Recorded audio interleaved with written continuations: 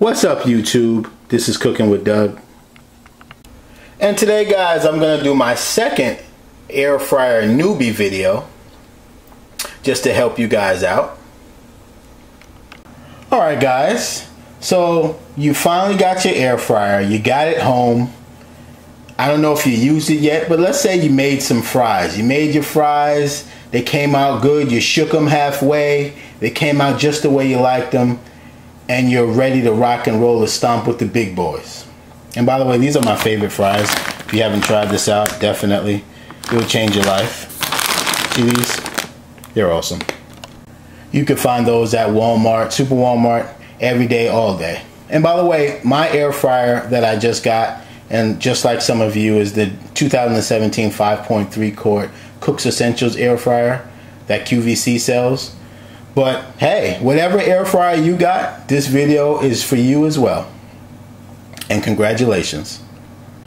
So for you guys today, I'm just going to go over a list of five or six things that I feel you're going to need as a newbie to better your air frying experience.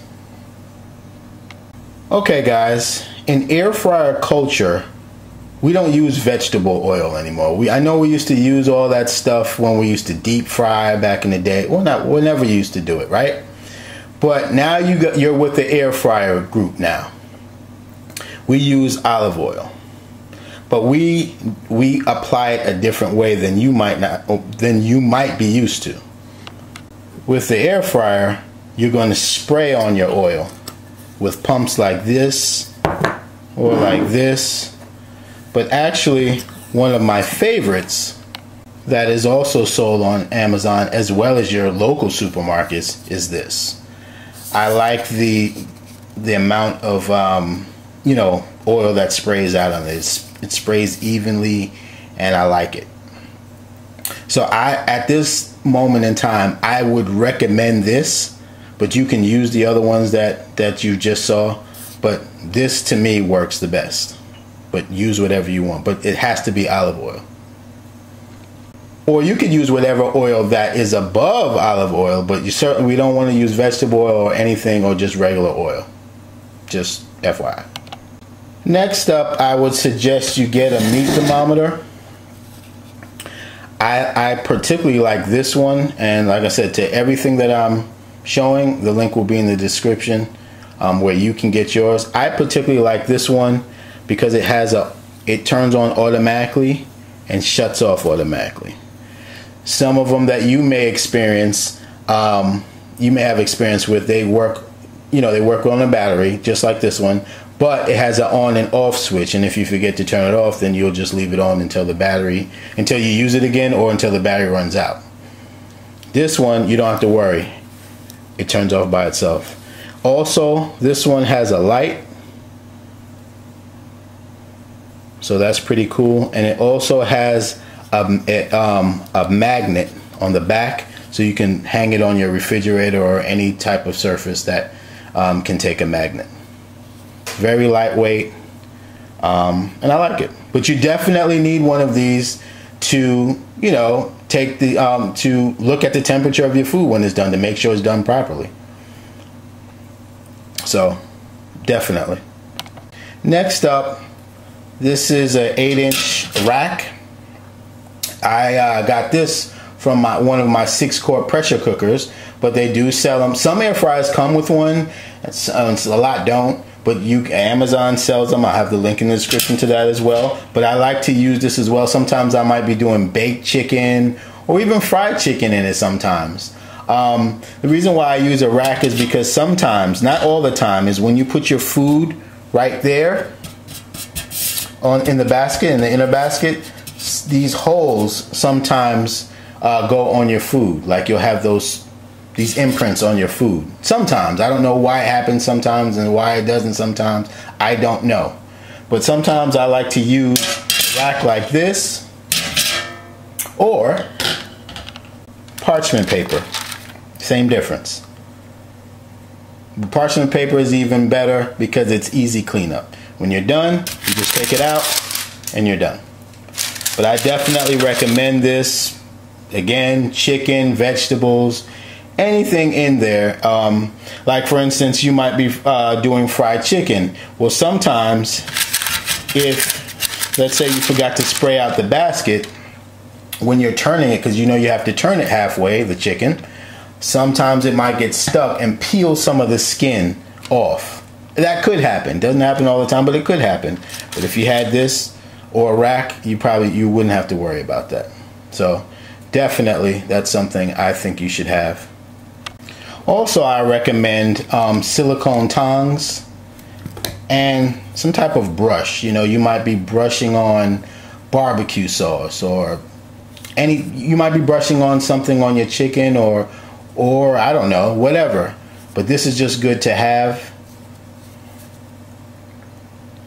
And um, I won't have the link in the description for these. I mean, you can just pick this up at wherever. But this is just another. These are good tools to have as well on hand. Next up, we, everyone has it, but you will need some foil if you're looking to bake anything like a cake. Well, not anything, but like you know, desserts like cake and brownies and stuff like that. Or even if you're going to make these, you know, they, these are in your supermarket, dime a dozen. I heard they're 88 cents now. I'm not sure, but um, there's de- lots of varieties of these. But when you're making that, or like any type of cake, you're going to need some foil. However, I don't have it, but in my air fryer group, there are people that use the um, foil that already has the holes in it. But if you don't have that, that's fine. And you can check, I'll put a link in the description to show you what I'm talking about. I have um, a video doing brownies in my air fryer. I'll put the link to that in this in the description as well. And I had to do something like this. I had to make my own hole just by with a with a toothpick. But they have um, they have foil with already holes in them. I'll put the link to that in the description as well. I, I didn't get a chance to pick it up, and I didn't see it in my local supermarket.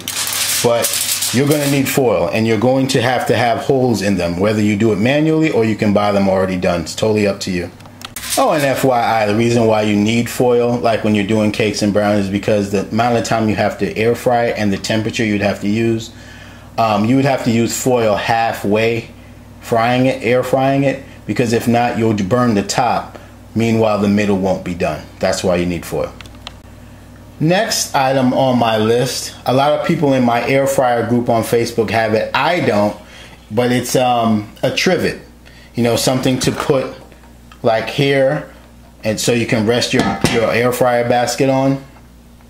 I just put it on my counter. It's never been a problem, but to some of you, that might be a concern. I don't know what your surfaces are like, um, and you may just want to take precaution. I'll put a link in the description to uh, the trivet that we use, um, and, and that's also on Amazon as well. And before I go, this is what I just got the other day, and I'll give you a demo of it. This is called the Handy Caddy, and there's many vari- variations of this. But I got this on Amazon, and my once again my air fryer group put me onto this, and I just got it, and I'm gonna hook it up to my air fryer to show you how it works. But what it basically does is it, whatever's sitting on it, it lets it slide out. So I guess I would put my air fryer like this and then make it come out.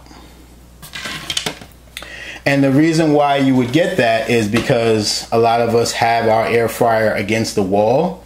And as you know, your air fryer blows out hot air from the back.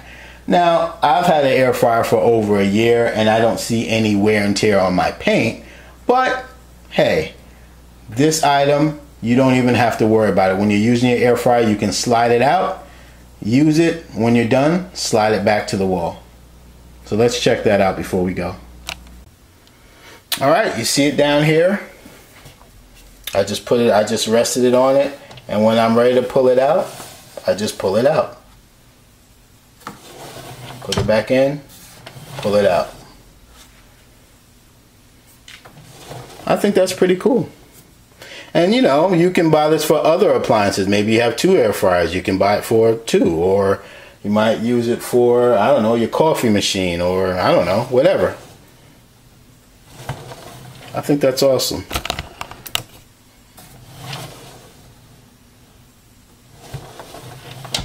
See? All right.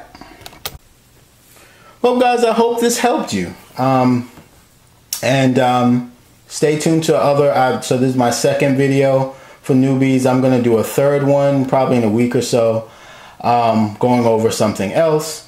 Um, one thing I do want to let you know is definitely subscribe to my channel. I have over 90 air fryer videos, and I'll put my playlist in the description as well. So you have 90 videos to choose from to get your feet wet on. So, and then second, you definitely, definitely need to join my air fryer group on Facebook. We have over 24,000 members. And if you think I could cook, man, there's some people in there that put me in the shame, but um, I love my group and um, they support me and I support them. And we, we, we do we do a lot of big things in there. We, we post pictures, we post our uh, recipes, and we just have fun in there and just teach each other. So definitely, if anything, join that group for sure. But that's all I got, guys. Hit like if you like it. Remember to subscribe. And if anything, thanks for just even looking at my video. This is Cooking with Doug, and we out.